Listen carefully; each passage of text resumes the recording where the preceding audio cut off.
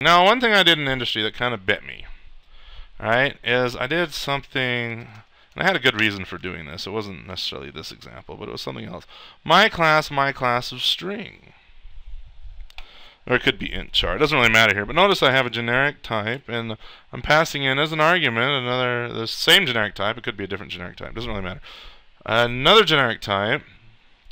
Uh, and then here I actually say string. Okay, so kind of got some weird stuff going on here. Where, uh, well, okay, Th think I'm going to get rid of all this because I think we're done with that. What's the output going to be when I execute this code? All right, because I'm I'm basically saying, hey, I want a my class of my class. So you'd think that uh, uh, touching this and then touching that would would cause this static constructor to execute twice. Let's hit F10 and watch the output. Notice the output. All right, how does that compare to our code? We only have one static constructor executing, and it's the outermost one. We have my class backtick of my class backtick one of string. Okay, the the inner my class string dot value did not execute. In order to get it to execute, I actually have to touch that type directly.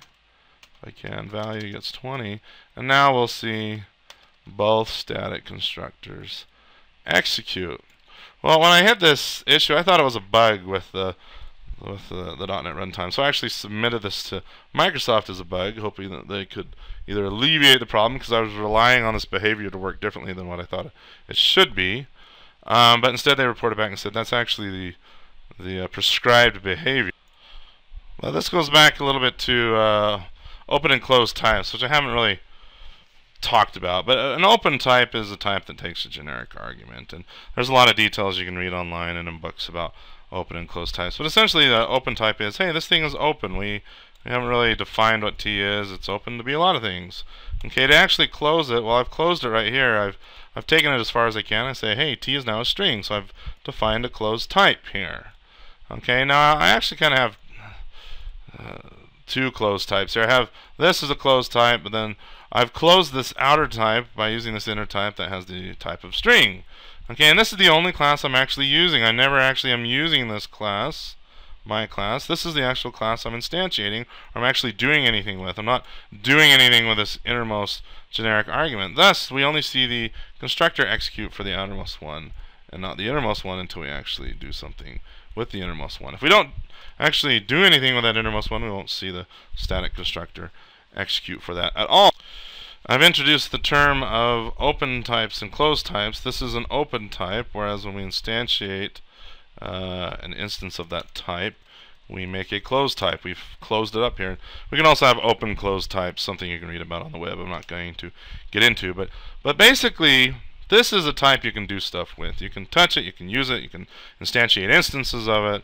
You're good to go. But that doesn't necessarily mean that this is not a type as well. It is a generic type. It's still compiled to the MSIL. We'll see in a later video. I can even say, uh, if I remember right, CW, a type of my class.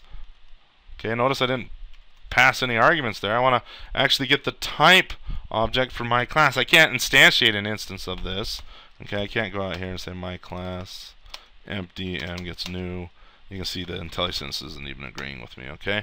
But it's still a, a, type, and I can query it using type of. If you go look at the reflection videos and learn about reflection and why that's important, um, then then cool. But it's still a type. It's just an open type, not a complete type, not a type I can instantiate. Here, let me just execute this and show you the output. Notice my class tick one of T.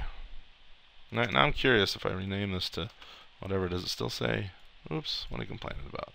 Oh, of course, I Ghibli got that, so I got Ghibli got that. Alright, but here we go. Okay, yeah, it does maintain the type argument uh, name. Very good.